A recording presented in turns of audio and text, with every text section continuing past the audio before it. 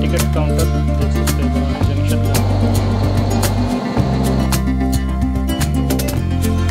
अलग बनाता है और स्टेशनों से। Guys welcome back to my YouTube channel with another new blog मैं हूँ प्रतीक और लेकर आया हूँ आज एक रेलवे स्टेशन का ब्लॉग और वो रेलवे स्टेशन कोई छोटा मोटा रेलवे स्टेशन नहीं है। वो है हमारे बिहार का बरौनी जंक्शन जी हाँ बरौनी जंक्शन एक बिहार का इंडस्ट्रियल एरिया माना जाता है बरौनी को। जहाँ रिफाइनरी वगैरह, बहुत सारा इंडस्ट्रीज़ वगैरह है तो इसी का, इसी से रिलेटेड मैं आपको ये यहाँ पर इसका रेलवे जंक्शन है, बरौनी जंक्शन वो मैं आपको दिखाऊँगा। और यहाँ पर कुछ हट के चीज़ है, और वो हट के क्या है, इस रेलवे स्टेशन के बारे में मैं आपको बताऊँगा। उसके लिए आपको ब्लॉग में बने रहना होगा। सो ब्लॉग में बने रहिएगा चैनल पर नया है तो उसे प्लीज़ सब्सक्राइब कर लीजिएगा एंड बेल आइकन ज़रूर से प्रेस कर लीजिएगा। मिलते हैं बरौनी जंक्शन देखिए, ये बरौनी जंक्शन ये इसका एंट्रेंस गेट है।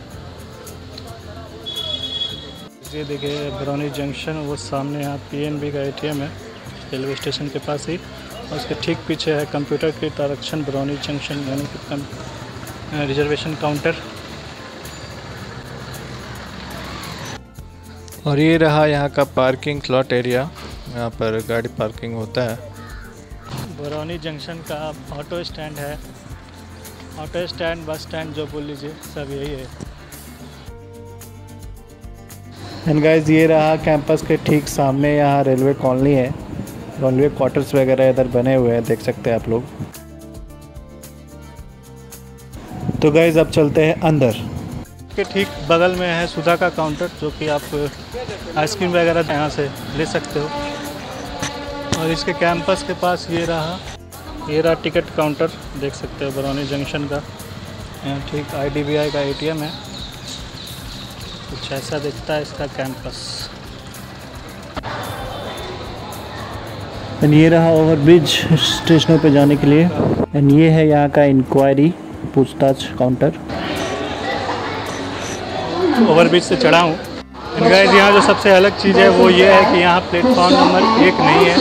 देखिए मैं अभी आपको दिखाता हूँ। प्लेटफॉर्म नंबर एक नहीं है बरौनी जंक्शन पे डायरेक्ट प्लेटफॉर्म नंबर दो है। दो से स्टार्ट होता है। ये ओवरब्रिज है यहाँ का और ये इस ओवरब्रिज के बाद ये खाली मैदान है और उसके बाद ठीक आपको देखने के लिए मिलेगा।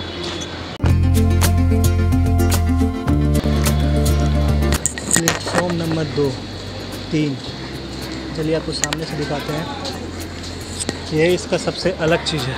ये देखिए, पूरा एक नंबर खाली मतलब एक नंबर है ही नहीं। उसके बाद आपको मिलेगा देखने के लिए दो नंबर, और फिर उसके ऊपर तीन नंबर। ये देखिए यहाँ प्लेटफॉर्म नंबर दो मेरे लेफ़्ट साइड में और राइट साइड में तीन फिर उधर चार, पाँच छः एक नंबर है ही नहीं यहाँ।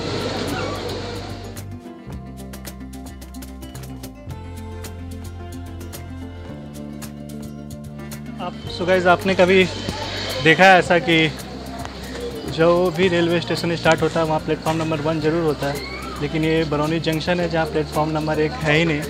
ये इसकी यूनिक चीज़ है या फिर ये अलग है और स्टेशनों से, यही इसे अलग बनाता है और स्टेशनों से। आपके जानकारी के लिए बता दूँ तो बरौनी जंक्शन पर टोटल प्लेटफॉर्मों की संख्या नौ है। ये देखिए, ये है दो, वो तीन और फिर उधर चार, पाँच, छः, सात, आठ और नौ। तो ये टोटल यहाँ प्लेटफॉर्मों की संख्या नौ है। And Barauni junction Sonpur rail मंडल के अंतर्गत आता है। एंड इसका स्टेशन कोड है बी जे यू गैस, ये है बरौनी जंक्शन, देख सकते हैं आप लोग। काफ़ी अच्छा रेलवे स्टेशन है, साफ़ सुथरा सा देखिए। पे आपको बहुत सारे खाने पीने से रिलेटेड चीज़ मिल जाएँगी, यहाँ फ़ूड ट्रैक है, ये देख सकते हो, और इधर काफ़ी स्नैक्स के काउंटर्स वगैरह हैं। ओवर ब्रिज है, और फिर लिफ्ट की भी सुविधाएँ यहाँ पर दे रखी है। लिफ्ट की सुविधा से लगेज पैसेंजर्स को लगेज ले जाने, आने में दिक्कत नहीं होता। है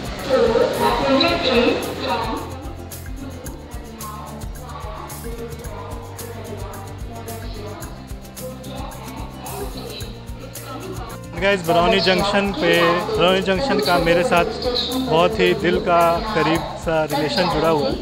ये बहुत पुरानी बात है। अब काफ़ी चार पाँच साल पहले तो नहीं। अब हालात सिचुएशन बहुत सारा चेंज हो गया। तो ये शुरू से मेरा फेवरेट रेलवे स्टेशन रहा है। गैज़ ये फेवरेट मेरा इसलिए भी रहा है क्योंकि हम, मेरा नानी घर पड़ता है सहरसा और सहरसा वाया बरौनी ही जाना होता है। शुरू से अभी वही रेट रास्ता है। तो ये बरौनी जंक्शन पे ट्रेन का इंजन वगैरह चेंज होता था। कपलिंग किया जाता था आगे से पीछे। तो हम लोग ये जो फ़ूड फ़ूड स्नैक्स देख रहे हैं स्नैक्स काउंटर पर ही, अब तो काउंटर वगैरह चेंज हो गया। यहाँ पे एक पूरी सब्ज़ी मिला करता था, जो कि बहुत ही लो कैटेगरी का पूरी सब्ज़ी होता था रेलवे की तरफ़ से, लेकिन बहुत ही टेस्टी हुआ करता था। उसका जो सब्ज़ी होता था, एकदम पतला सा झोट सा होता था, लेकिन बहुत ज़्यादा टेस्टी हुआ करता था। इसीलिए हम लोग हम लोग सारे भाई बहन लोग, यहाँ पर काफ़ी देर ट्रेन रुका करता था, इसलिए हम लोग खाया करते थे बनानी जंक्शन पर। पूरी सब्ज़ी। और बहुत टेस्टी लगता था। गाइस आपकी जानकारी के लिए बता दूँ तो बरौनी जंक्शन जो है, सो बेगूसराय डिस्ट्रिक्ट में पड़ता है। एंड बरौनी जंक्शन का निर्माण यानी ओपन ये हुआ था आज से लगभग एक साल पहले, यानी अठारह सौ तिरासी में। और इसे इलेक्ट्रीफाइड फुल्ली इलेक्ट्रीफाइड किया गया 2012 में। और यहाँ पर काफ़ी सारे फैसिलिटीज़ वेटिंग रूम वगैरह की फैसिलिटीज़ वगैरह हैं टॉयलेट्स वगैरह हैं। और यहाँ का सबसे नियरेस्ट एयरपोर्ट पड़ता है दरभंगा एंड उसके बाद फिर पटना एंड फिर गया। और ये शायद ए कैटेगरी का रेलवे स्टेशन इसका दर्जा इसे दिया गया है। और रोज़ाना यहाँ पर लगभग 136 ट्रेनों का हॉल्ट होता है। और यहाँ से ऑरिजिनेट होती है ट्रेनें 17 और टर्मिनेट भी 17 ट्रेनें होती हैं। एंड बरौनी खासकर थर्मल एंड रिफाइनरी के लिए फ़ेमस है। वैसे यहाँ बरौनी खाद एंड बरौनी डेयरी की भी फैक्ट्रियाज़ वगैरह है। तो यही है हमारा बरौनी जंक्शन एंड गाइस जैसा कि मैं आपको पहले ही बता दिया हूँ कि ये रेलवे स्टेशन अलग और रेलवे स्टेशनों से इसलिए है क्योंकि यहाँ ये प्लेटफॉर्म जो स्टार्ट होता है यहाँ पर, ये दो नंबर प्लेटफॉर्म से स्टार्ट होता है, यहाँ एक नंबर प्लेटफॉर्म है नहीं। जो कि इसे और रेलवे स्टेशनों से अलग करता है और यूनिक करता है क्योंकि सवेरे रेलवे स्टेशनों पे स्टार्टिंग प्लेटफॉर्म नंबर एक से ही होती है। सो so यही थी बरौनी जंक्शन की छोटी सी जानकारी। थोड़ा इन्फॉर्मेटिव जानकारी होगा आप लोगों के लिए बरौनी जंक्शन के बारे में। तो अगर ये ब्लॉग पसंद आया हो तो उसे प्लीज़ प्लीज़ प्लीज़ शेयर कर दीजिएगा एंड लाइक कर दीजिएगा। एंड चैनल पर नए हो तो उसे प्लीज़ सब्सक्राइब कर लीजिएगा। ये है बरौनी जंक्शन।